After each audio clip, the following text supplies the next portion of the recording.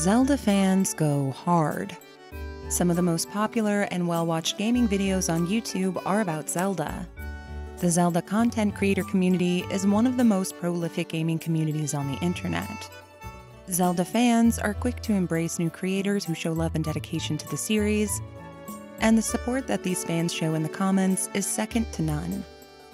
At the same time, one could say that Zelda has a notoriously opinionated and strident fan base.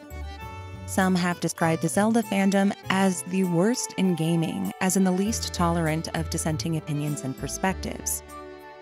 If you spend any time consuming Zelda commentary, you'll quickly find flash wars spanning every aspect of the series, with factions taking decisive sides. Does the lore matter? Should dungeons come back? Is there a timeline? Is the series dead? Is Breath of the Wild a Zelda game? Is Tears of the Kingdom DLC? I noticed a significant split in the fan base in the months leading up to Tears of the Kingdom's release. Hype levels were historically high, and concerns of less hyped fans were frequently dismissed or openly mocked. Even back in Breath of the Wild's release window, dissenters were ostracized. But truthfully, the toxicity of the Zelda fanbase has been a subject of discussion for many years. Now, you may be thinking, well, every fan base is like this, but I disagree. Zelda fans do seem more protective than other fandoms I engage with, and I want to talk about it. Why are Zelda fans so passionate, committed, and protective of their views and perspectives on the series? What is it about Zelda that leads to so much fandom tension? I've seen several answers to these questions that basically boil down to Zelda fans just suck. I disagree with this. I don't think the Zelda series just attracts crappy fans.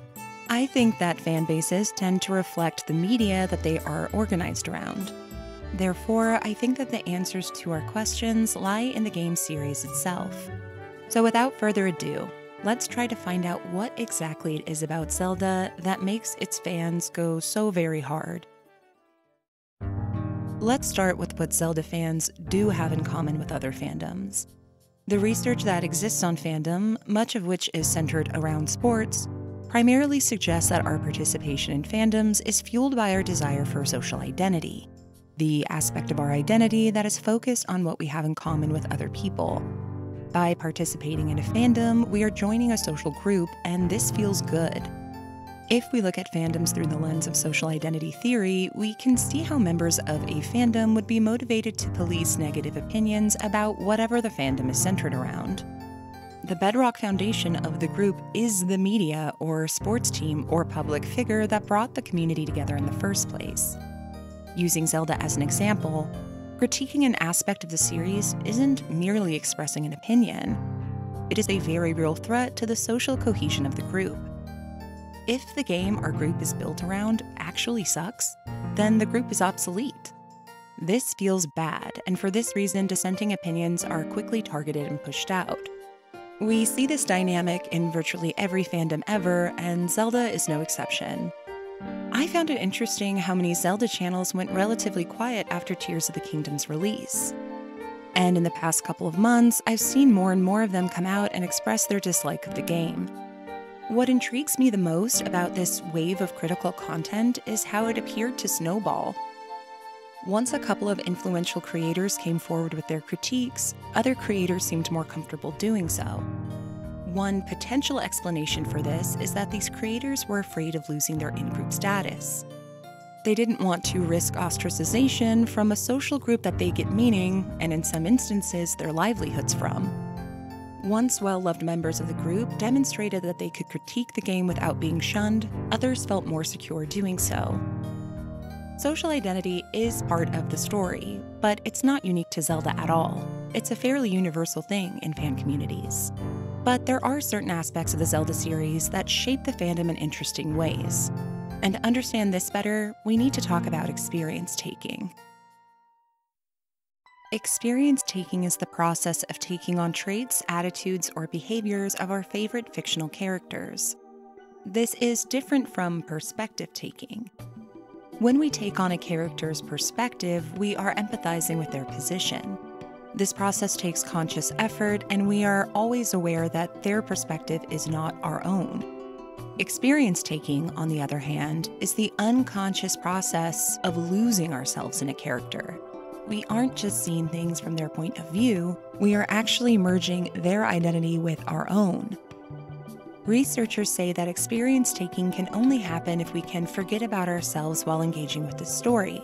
The more we are forced to confront our own self concept, the more difficult it is to take on a character's experience. One study found that readers had a much harder time taking on the experience of a literary character if they read in front of a mirror. It's not as easy to get lost in a story when we are tethered to an image of ourselves in a mirror. When we play a Zelda game, we aren't simply taking on Link's perspective, we are living it. And there are aspects of Link's characterization that help facilitate this, like his intentional androgyny. We don't have to identify as male to incorporate the character of Link into ourself. In general, video games facilitate more experience taking than perspective taking, as you are literally playing through the character's experience. But silent protagonists like Link really amplify this. If he had a voice or a tone or an attitude that sounded nothing like ours, that would force us to confront our self concept and jar us out of the experience. Link's characterization leaves just enough gaps for us to fill with our own identities. In Breath of the Wild and Tears of the Kingdom, the story cuts more towards perspective taking due to the method of telling the narrative through memories. I have seen many fans bemoaning the return of the memory cutscenes, and I think this is the reason why. They take us out of the experience by merely asking us to view a perspective. This disrupts the experience taking process and therefore our immersion and enjoyment of the story. If we do not like or feel motivated to do what the game tells us Link is supposed to do, it impedes our enjoyment of the game. One of the reasons Majora's Mask hits so hard emotionally is that it compels the player to do exactly what Link is doing.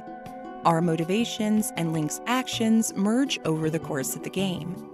We want to save the world, and Link is saving the world. I felt like Breath of the Wild's memories gave me compelling reasons to save the world. But by the time I got to play as Link, the ship had sailed. By the time I got to connect with the champions narratively, they'd already been dead for a hundred years. There's a misalignment there, I think, and it breaks the immersion for me. Experience taking might give us the best explanation as to the infighting in the Zelda fandom. If we're all unconsciously merging ourself with Link, then when we disagree with another fan's opinion, we aren't just evaluating and rejecting their perspective, we are rejecting their self concept, which feels much more threatening.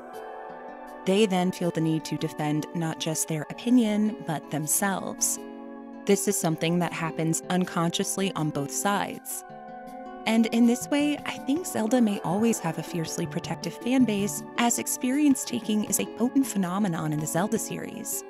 It's an organic byproduct of Link's avatar, the result of developer decisions made over several decades.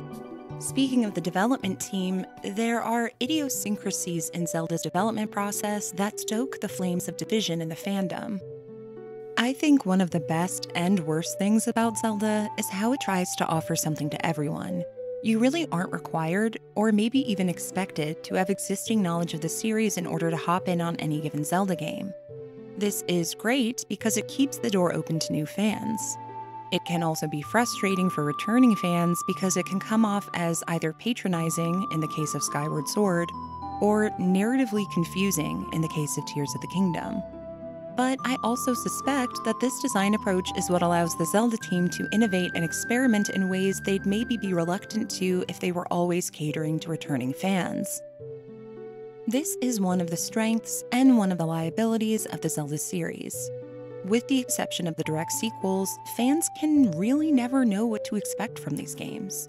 So much changes from game to game. Even things that are assumed to be mainstays of the series, like dungeons, or even Zelda herself, can be left in the dust with a new release. Besides the presence of Link, and usually of Zelda, these games look, feel, and play like nothing else before or after them. And since we don't know what to expect, we tend to hype things up. We want each new game to be as good as that one or those ones we loved before, and we have so much time between releases to grow the hype monster. If you want to get deep about it, and by this point I assume you do, you might say that Zelda fans are anxiously attached. Because we so rarely get a hit from Zelda and have very little idea of what to expect, we become hyper fixated on how the game might make us feel. And because this bond is so tenuous and provisional with each release, we get very defensive of it. Likewise, when we are disappointed by Zelda, when this bond is damaged in some way, we feel abandoned and take to the forums and the comment sections to look for validation. Obviously, attachment theory is not designed to be used in the context of video games. I'm just trying to facilitate understanding. Nor do I think this is any result of malicious intent on the part of the developers. I don't think they're trying to play with our emotions. I just think this is what happens when you start from scratch with each new release. And finally, the Zelda devs just can't seem to help themselves from inserting controversial elements into their games. Name a Zelda title, and I'll name a feature that is still a thorn in some part of the fandom's side. Weapon durability, motion control, stealth missions, stealth missions, and stealth missions. Too few dungeons, too many dungeons, no dungeons, transformations, cel shading, and on and on. When you're constantly experimenting and innovating and reworking, you're going to inevitably create divisions among your fan base, as some fans will embrace your new ideas and others will reject them passionately. I don't really have a psychological analysis to offer here, just empathy for all sides of the fandom. It's hard being a Zelda fan, you know? And really, that's the main takeaway here. While Zelda shares commonalities with other fandoms, there are aspects of the series that make its fans especially passionate and protective. And as I've discussed here, most of these things are happening beneath our conscious awareness. I'm not going to tell you to be nice because I'm not your mom.